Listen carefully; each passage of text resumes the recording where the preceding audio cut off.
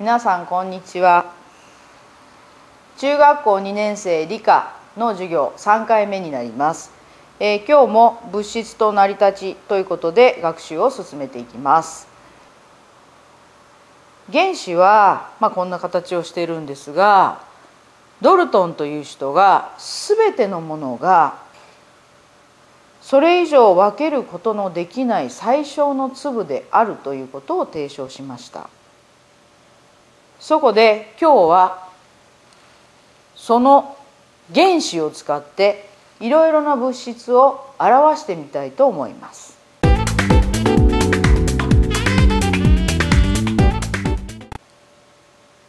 もう少し原子について説明をしますね。原子とはすべての物質これが小さい粒からできているんだとそしてその種類は110種類ほどでその組み合わせによっていろいろな物質ができています。また特徴としてはそれ以上分けられない。そして種類ごとに決まった質量がある。また原子はなくなったり新しくできたりはしません。だから急に他の原子に変化したりはしないんだというのが特徴になります。はいそれでは具体的な例を挙げて原子の大きさについて説明したいと思います、えー、一番ちっちゃい原子それは水素原子になります。この原子1個の質量は何グラムだと思いますか？一番ちっちゃいですからね。これです。17の前に0が24個ついてるんです。ものすごくちっちゃいの分かってもらえますか？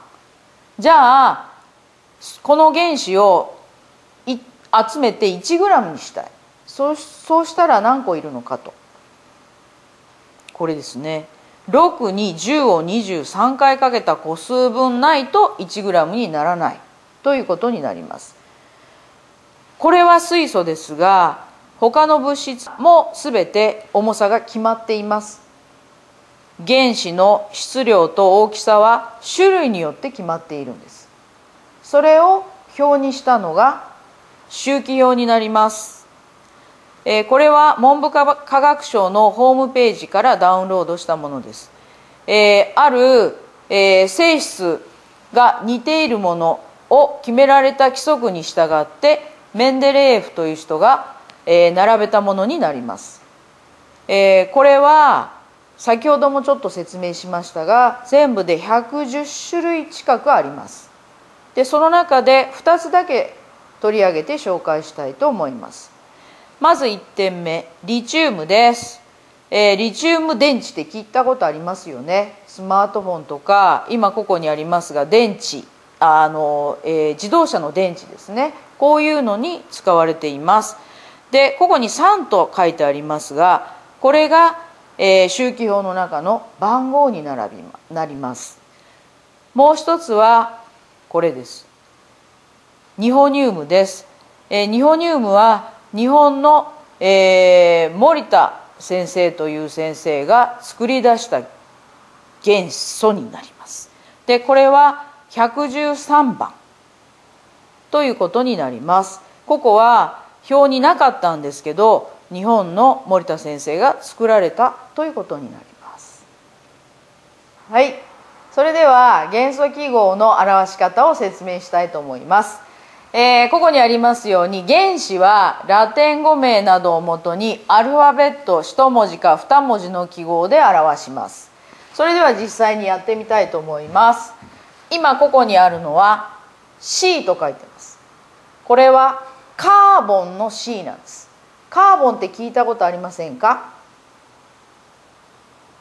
炭素炭のことですよね、えー、それでこの絵は炭素を表す記号になります。それでは次です。ここ。これは N と A A は小文字で書いてますね。えー、これはローマ字読みすると何でしょう？なですよね。気がついた人もいるんじゃないですか？これはナトリウムという原子になります。はいそれでは3つ目。これはちょっと難しいかな。でも最近宣伝でもありますよね。消臭剤とかによく使われてます。殺菌作用があるのでこれはそう。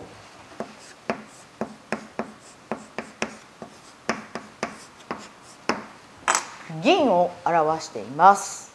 というようにアルファベットを使って記号にしています。これが元素記号になります。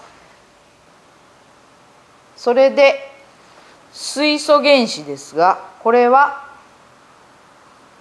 H と書きます。酸素原子は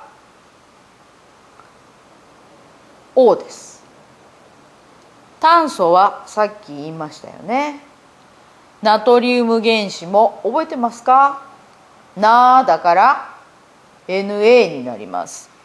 銀は Ag ということになります。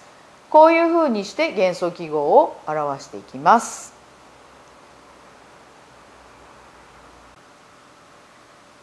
元素記号の表し方分かりましたか？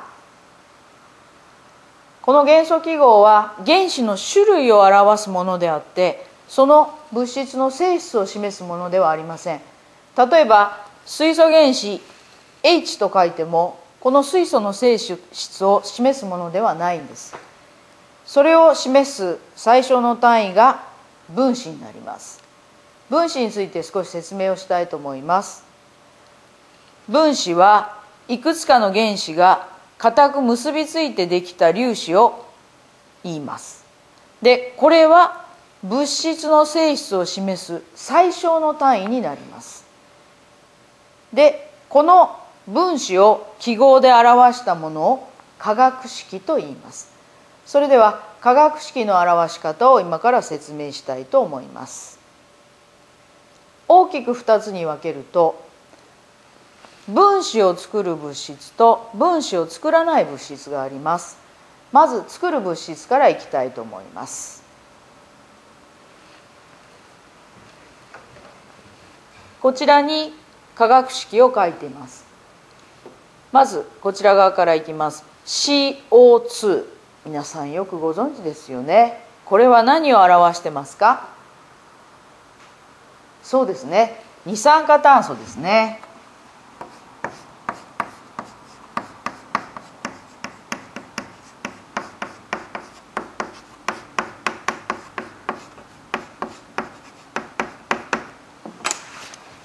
これを見てもら名前を見てもらったら分かると思うんですが先ほど元素記号で説明したように C は炭素を示しています。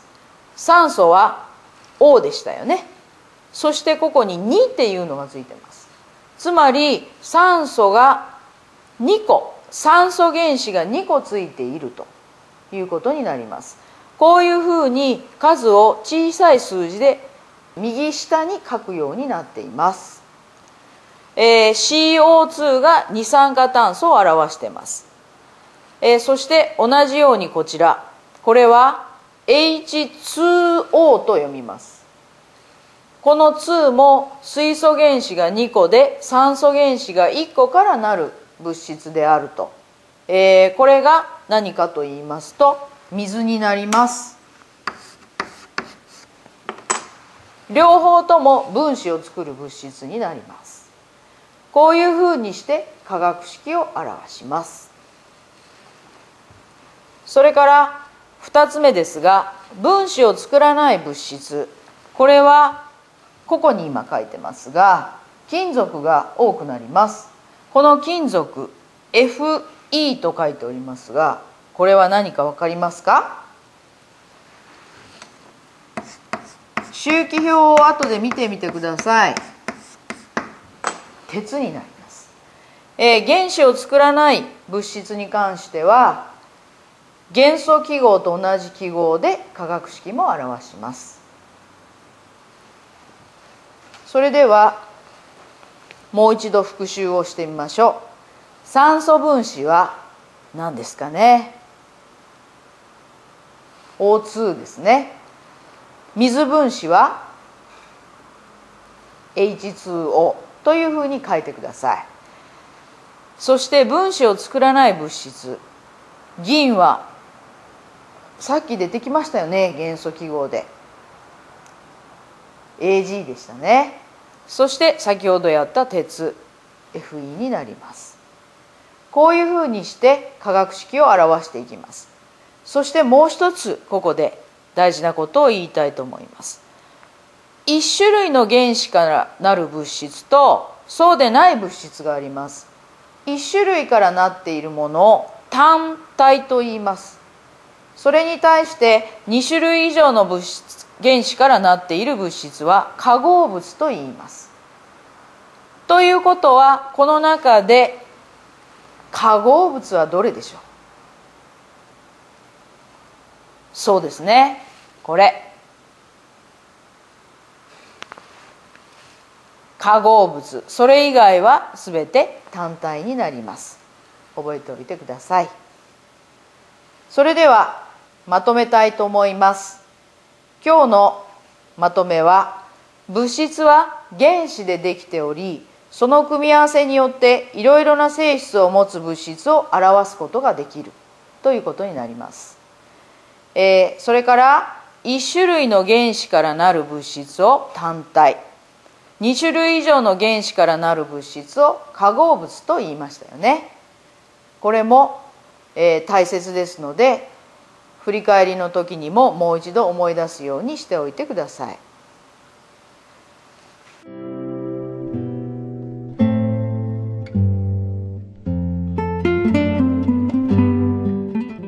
個々の勉強はある程度覚えなければダメです。元素記号も化学式も暗記をしなければいけない部分がたくさんあります。それで最後に楽しい覚え方を紹介しようと思います。まず一つ目。ゲーム形式でやってみてはどうでしょうか。カードを作ってゲームの形でや覚えるようにしてみてください。作り方は2種類のカードを用意して、えー、まあトランプ使わないトランプがあればそれを活用したらとても簡単に作れます。そしてどちらかの、えー、2種類色を用意してください。どちらかの色に物質名もう一つは原子の記号あるいは化学式を書いてみてください。そして今ここ写真にありますがえー、全部裏返しにして広げて、えー、トランプで神経衰弱ってやったことありますよね、えー、当てながら覚えていく。こういうやり方どうでしょう？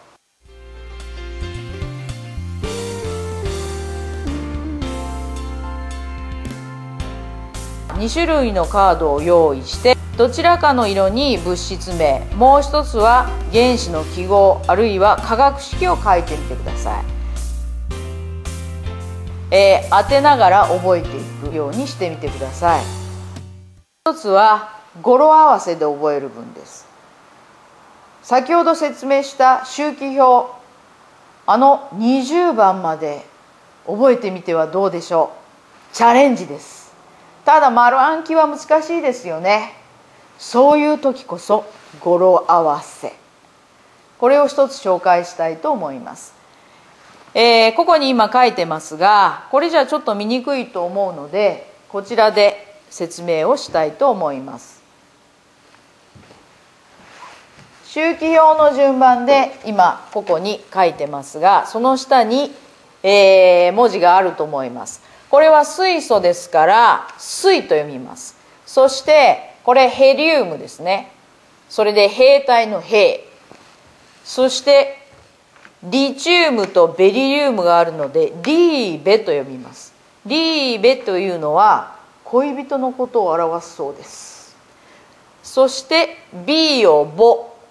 C をク。NO をの。船と呼びます。それぞれこれは元素記号になってますので後で周期表で確認してみてください。そして3段目。ナトリウムですね。な7なマグネシウム。マガ D がアルミニウムの L に重なってます。シップス。CL 塩素ですが L ですのでクラアープカと読みます。意味はあまりありませんが語呂合わせですからこういうふうに覚えてみてください。水平リベ僕のお船生がりシップスクラークかと読みます。これで20番まで覚えられると思いますので周期表を使ってやってみてください。それでは今日の学習を振り返りましょう。最後に教科書に元素記号や化学式がありますので何回も書いてまず覚えてみてください。そして先ほど紹介したやり方で、えー、ゲーム形式とか語呂合わせで、えー、楽しく覚えられるようにしてもらうと学校に来てからスムーズに勉強を進められると思います。以上で今日の学習を終わります。